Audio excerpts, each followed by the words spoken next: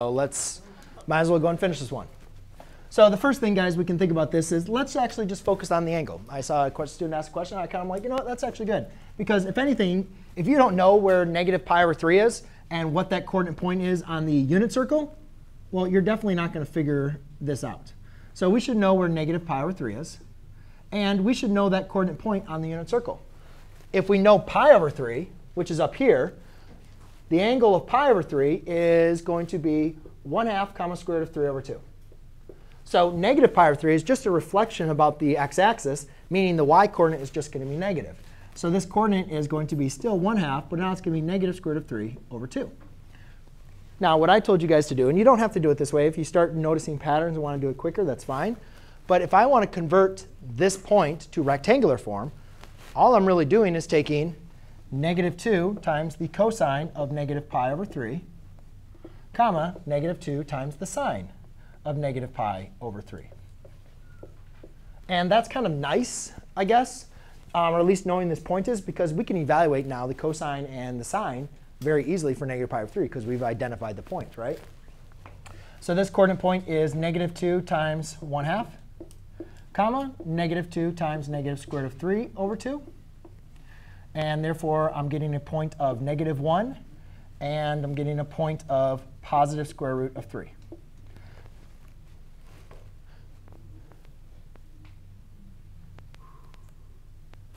Yes? OK. So if we look at this point, negative 1 square root of 3, which quadrant is that in? x coordinate. Remember, this is, an x, this is a rectangular coordinate. So the x coordinate's negative, y coordinate's positive. That means it has to be somewhere over here, right? So we're at negative 2. So second radius. Oh, we're first radius. Wait. That's a rectangular coordinate. Yeah, so it's at negative 1, and then it's a little bit higher. So here's my coordinate points.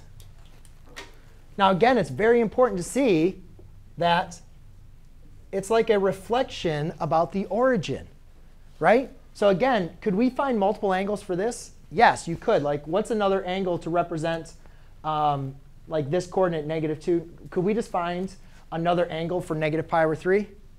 Yeah, we could also do negative 2. Again, this is the point on the unit circle, so we're really down here.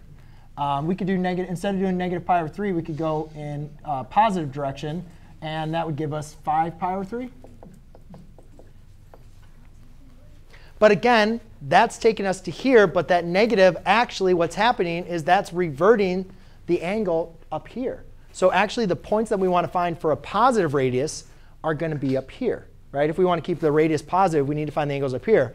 And so if here's my reference angle, if my reference, if my angle is negative pi over 3, the reference angle is pi over 3.